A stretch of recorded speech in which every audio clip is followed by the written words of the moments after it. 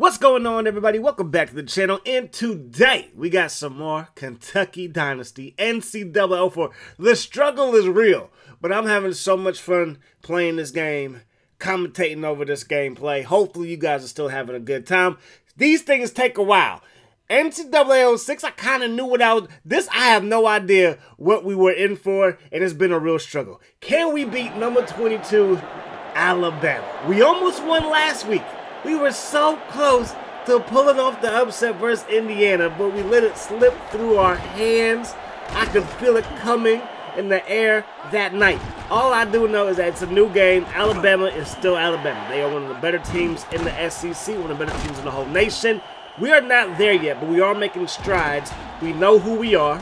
We are a pass first, one running back type offense. We spread things out, and we just need our defense to tackle and make plays and that's our MO. So second down and 10, they're going to drop back the pass. That pass incomplete, and look at the foolery.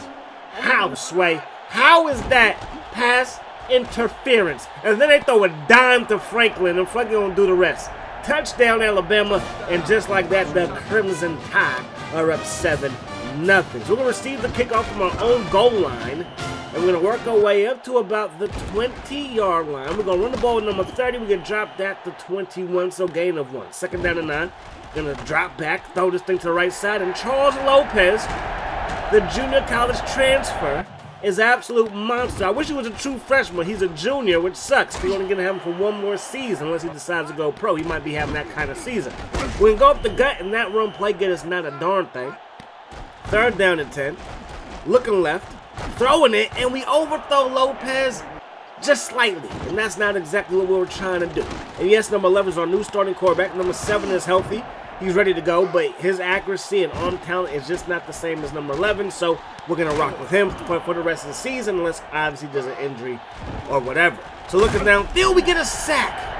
That's what I need, some heat coming off the edge. Let's dial it up again. We're not going to dial up on this play, but they do throw to the tight end. And now I'm like, they're going to spread things out. Now let's dial it up again. And number 21 gets another sack. And that's going to force them to settle for a field goal. And that kick is up. And that kick is going to be good. So we're down by two scores, but we are in this ball game. A bad PA call helped them score last drive. We were able to stop them before they can get some major points on this pass drive. So now offense, let's put a drive together. Looking downfield, we're to roll right, and we get sacked. Had no time to even set our feet. We could not read the coverage, and then we throw a pick, and I was like, I thought that was enough room. He had to make a spectacular play based on all his reflexes. We come in with another sack right there. But I felt like I had a window to put that football through. We just didn't do it. So now they have great field position, and now it's going to be third down to 16. Looking downfield, they throw it to the first down markers at a first down it is to end the first quarter of play. So we were so close getting off the field, but close isn't close enough. And then they go up that with the quarterback, and that's going to be a touchdown. The PAT is up, and the PAT is good. So now Alabama is up by 17. So a three possession deficit. And can we climb this mountain? Hopefully we can. First down and 10. We're going to go with the draw play. It's the only run play that I know can work consistently. And if we get a faster running back in recruiting, these draws are going to hit for some big-time yards. You got nine on that last play. You pick up about three yards there for a first down. Over the middle, that pass is caught, and that's going to result in a first down right there. Now we're going to run the ball, and we get bottled up and boxed in. So they know what's coming. They probably, you know, watch plenty of film. They know what we like to do. We're going to spread things out again. Going to find number 17 down on his knees. Third down and around five. Lopez makes the catch. And then the spin move is filthy. And he's loose. And he has reservations for six. Touchdown, Charles Lopez. Touchdown, Kentucky. And we're down by 10 points yet again. They go up the gut for a gain of two. We come on that nickel defense. They run the ball, and our safety comes up and brings the pain. So third down and four. All the big fellows are up there, and the big fellows come through with the stop. Get your fullbacks involved, but maybe on that play, you should have went with a different option just because it didn't work. That pass is caught. That's going to be a first down. Move those chains. We have got to score on this drive. It's very, very important that we do so. Up the gut showing some power, even though we're a finesse team. Show some power right there. Gain of four. Second down and six now. Gonna set off feet, throw it to Lopez, who continues to torch this defense. He is a flame that is too hot to touch, and that's why they can't guard him. They can't get too close to him. That pass caught, and that's going to result in a gain of around three, I want to say. Make it just two. Looking downfield for the big tight end. Get the tight ends involved in this offense. And we're going to work the football up to the 20-yard line. So inside the red zone. Draw play, breaking ankles, and breaking hearts. We matriculate this thing to the 14-yard line. Second down, three yards to go, and then we get sacked. We had the running back out of the backfield. I was looking to the right side, though. It just didn't work out. Now we throw it to Crossley. His hands can't make the catch on that play. We got to settle for a field goal, and we miss it. And I'm going to just be real. I'm turning the sliders for kick accuracy up. Because to me, it shouldn't be that bad of a miss. All right? and I'm usually transparent with what I do with the sliders, and that's the one thing I'm doing, is I'm turning the kick accuracy up, because that's ridiculous, okay? We're already struggling enough. Field goals from that distance needs to be a chippy, okay? They're going to go up the gut, we shut it down, and that's going to do it for the third quarter, excuse me, the second quarter play. As we head to the third quarter, we will be getting the football first to start the second half. So from the 10-yard line, we get to the 15. The blocking could have been better, but it is what it is. First down and 10. Looking downfield, will throw it. That pass caught by Lopez. Breaks a tackle, stays in bounds, turns upfield, and he's to pick up a gain of nine. Second down and one. That pass is to be caught, and that's to be a first down. You feel me? First down and 10 out of the gun. Looking for a receiver. Number four forgot his hands on the bench. We had 83 as well. Maybe that would have been a better route to throw to. And now number four is hurt. Might be one of those situations where you fake an injury because you messed up. And I mean, who knows? Anyways, Magruder down the seam, makes the catch. The big fella coming through for his quarterback. They go up the gut, and that's going to be a touchdown. Great run there. And the better team is showing why they are so. So we're going to work our way right up the heart of the special teams unit to to about the 17-yard line, not quite the 20. We're going to be looking downfield here. We're going to set our feet, fire it deep, and on one flick of the wrist, we're in Alabama territory from our 17 down to their 37-yard line. Looking downfield. In the coverage, and it gets to the receiver, but he's unable to hang on to the football. So we're going to roll right, throw it back left, kind of dangerous, but we do connect the dots, and that's going to result in a first down thanks to the face mask call. So tack on extra five yards, move those chains, rolling right, looking downfield for Lopez, and that's a Dawkins dime. That pass was put only where a receiver could get it. Just beautiful, beautiful execution. And we find ourselves back in this ball game, still down by two scores. So our defense has to get a stop. 4.05 to go in the third quarter. Alabama has it. They throw it to a wide open receiver. He makes the catch, turns upfield, and that's going to be a gain of around 12 in the first down. They go up the gut. Nice physical run, but the defense is there to corral him before he can really get anywhere after a gain of five. So that pass caught. They pick up the rest for a first down and then some, and they're in Kentucky territory. They fake the draw. They throw it up top. Magruder coming through for his quarterback again.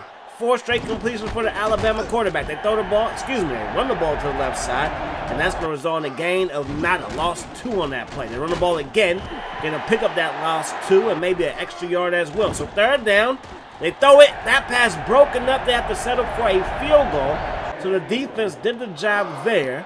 It's going to be a 13-point lead for Alabama.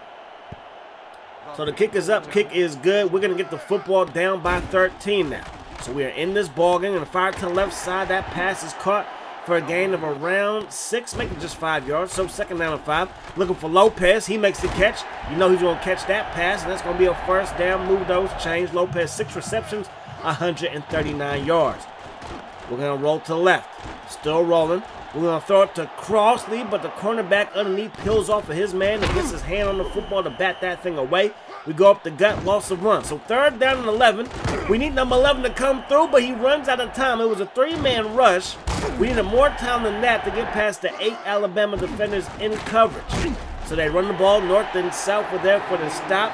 They're going to be looking at a third down as we come back for the fourth quarter of play. So third down and nine.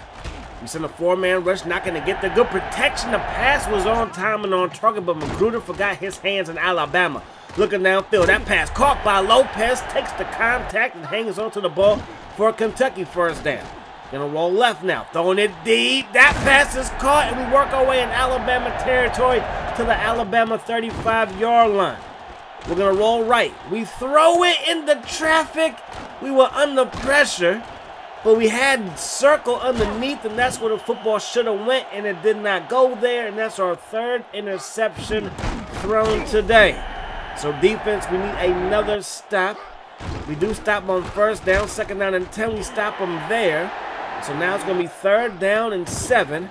Going to go with a quarterback draw. Are they going to pick it up? No, because the best player on the defense, our strong safety, comes through with the tackle. That pass caught and then dropped as a huge hit is laid upon our receiver. Second down and 10. Going to the flat. That pass will be broken up. So now it's going to be third down and 10. Looking downfield. And we're going to get sacked. Should we punt it? Possibly that's the wiser choice here, but we're going to go for it on 4th and 16 from inside our own 20, and that's not going to work out. And yeah, hindsight's always 2020.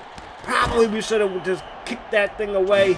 Our defense was playing well this half, but sometimes emotions get the best of you. That pass will fall incomplete, and now we are in some serious trouble. Looking downfield, that pass will be caught. Going to be shy of the first down. We in about four yards here. Looking for Lopez coming across the middle. Makes the catch, and that will be a chain mover. So first then 10, 244 on the clock. Going to run the ball. We're going nowhere fast. Dropping back. Looking for Crossley. He makes the catch. He will turn it up. upfield. Nice run after the catch. And that's going to result in a first down with 20 of 32. Two touchdowns, but three, count them, three interceptions. That pass dropped. We need that one to be hauled in. Second down, 10 yards to go. Under some pressure, we avoid the rush. We're looking downfield. We throw it that pass in and out of the hands of the, of the defensive back. And now it's third down and long, and we get sacked yet again. So fourth and forever. We need 16 yards here. We're going to roll left, still rolling, and we'll have to throw it underneath, and that's not going to get the job done, and that's going to end the ball game. Alabama will milk the clock from there. They move on to 0 3. We fall to 0 and 4. We are definitely making some improvements, but obviously sometimes our offense sputters and then I make a poor decision with throwing the ball in the traffic. Still very used to 06, obviously, but, th- but that can't be an excuse anymore. I understand 04 and its mechanics and how things work. The cornerbacks on the cover two drop back pretty far, and then eventually they do come back up. So whenever it's zone. My best bet is to probably go short, but sometimes, like that one play when I was under pressure through the ball in triple coverage, I was like, I'm probably going to put it in the area where the defensive back can't make the catch, but it went straight to the defensive back, and that kind of cost us there. But we did hang tough. Hopefully, we can turn some of these close games into wins. Hopefully, you guys enjoyed the video. I hope the rest of the day is the best of your day. Until we meet again, my friends. Peace, love. Hot sauce.